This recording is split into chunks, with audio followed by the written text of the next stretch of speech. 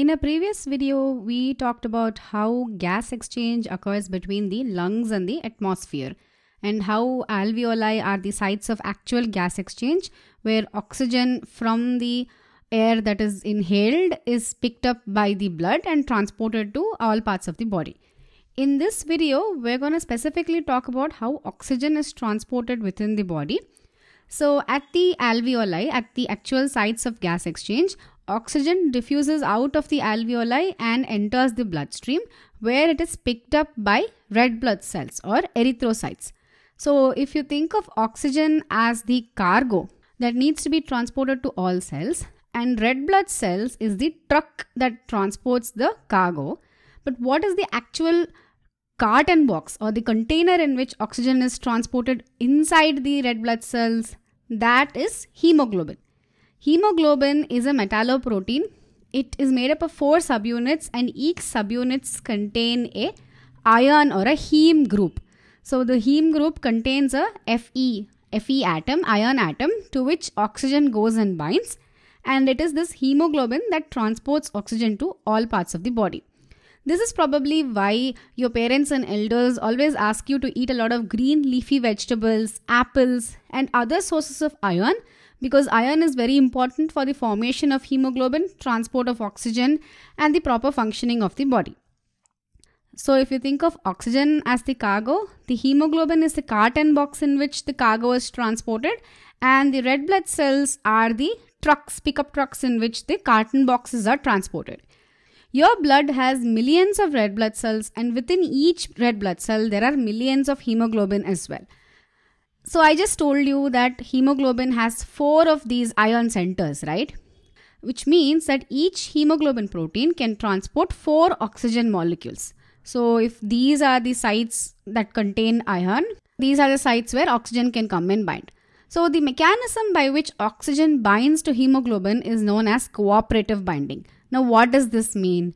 So when oxygen is binding to hemoglobin, all four molecules do not bind at the same time. Initially, when the oxygen enters the red blood cells, only one oxygen molecule initially binds to the hemoglobin. It comes and bumps into hemoglobin and binds to one of the iron containing centers. Now, after one molecule of oxygen has bound to hemoglobin, then this protein undergoes a conformational change which causes an increased affinity to oxygen. Now with this increased affinity, three more molecules can bind to the three more open now exposed sites. So this is known as cooperative binding. Now this protein now which is bound to oxygen is known as oxyhemoglobin. Apart from oxygen binding sites, hemoglobin has other binding sites known as allosteric sites. And at these sites, two different substances can bind to it, which are hydrogen ions or protons and carbon dioxide. Now, where do we get these hydrogen ions from? So, what happens is within the cells, carbon dioxide is produced as a result of cellular respiration, right?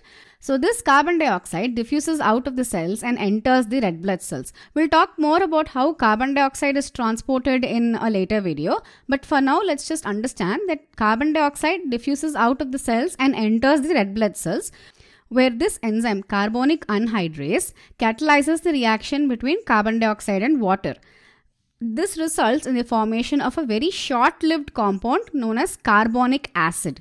Now, if you remember, a property of acids is that when acids dissociate, they dissociate into conjugate base and protons, right? This carbonic acid is highly unstable and it immediately dissociates into hydrogen ions and bicarbonate ions. Now we'll talk more about the bicarbonate ions in the video for carbon dioxide transport. But this is where we get the hydrogen ions from. So hydrogen ions and carbon dioxide have allosteric sites on this hemoglobin apart from the sites where oxygen can bind. So we can say that hemoglobin is allosterically inhibited by protons and carbon dioxide. So now let's move on to the actual transport of oxygen. It is the partial pressure that is involved in the movement of oxygen from the lungs into the red blood cells. So the pathway that the oxygen takes inside the body is that at the alveoli, oxygen is diffused into the red blood cells. And inside the red blood cells, it binds to hemoglobin and then is transported to all cells and tissues.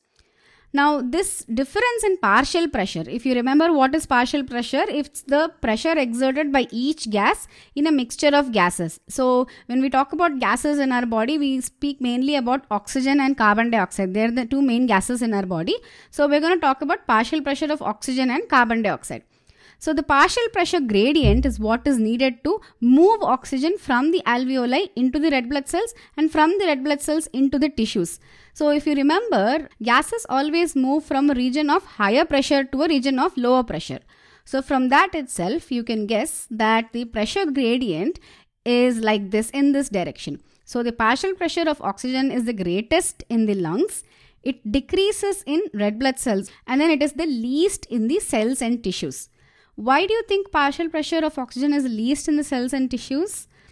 So, after the cells and tissues have obtained oxygen, the blood is going to go back to the lungs and get oxygenated again.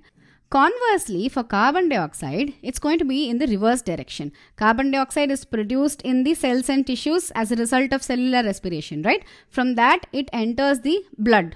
And some of it is also picked up by the red blood cells. We just saw here about this equation, right? So carbon dioxide is going to be picked up by red blood cells and then that's going to be transported back to the alveoli from where it is exhaled out.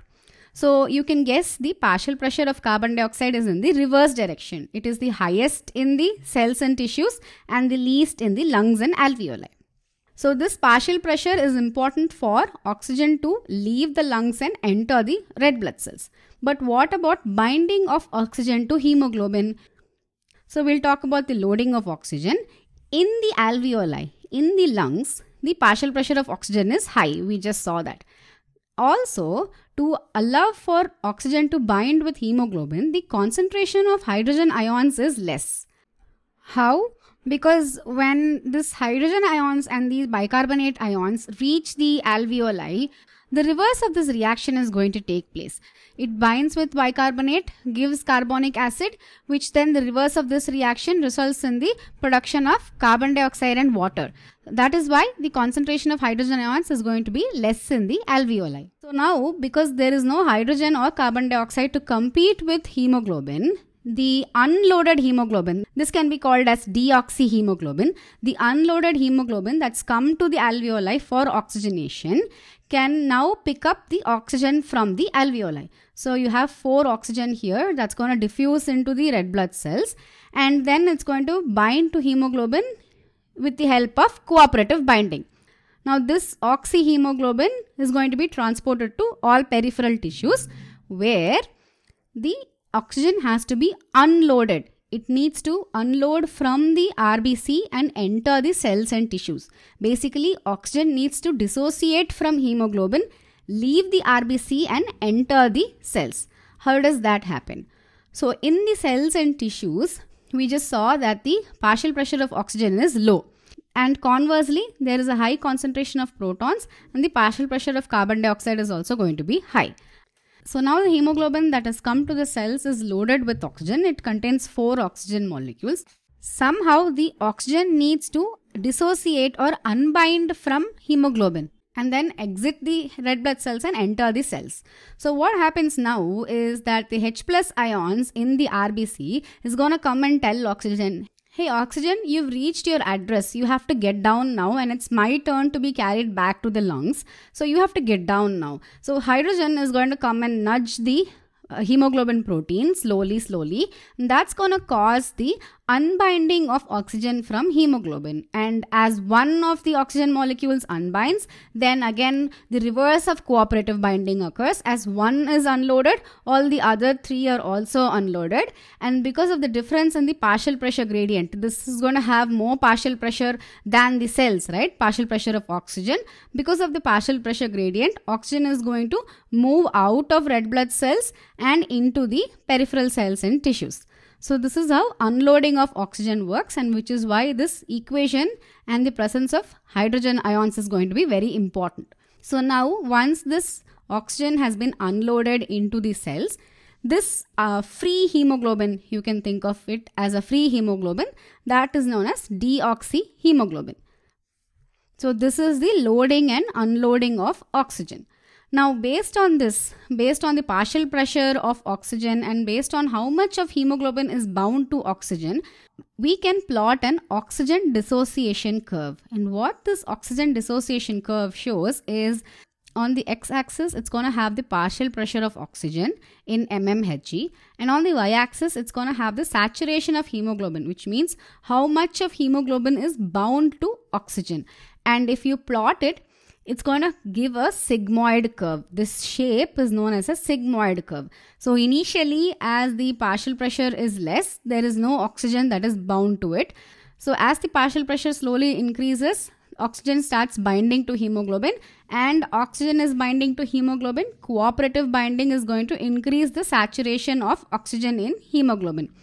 At high partial pressure of oxygen, uh, hemoglobin is going to be completely saturated at 100% of oxygen. So at this stage, no more oxygen can come and bind with hemoglobin. It is fully saturated.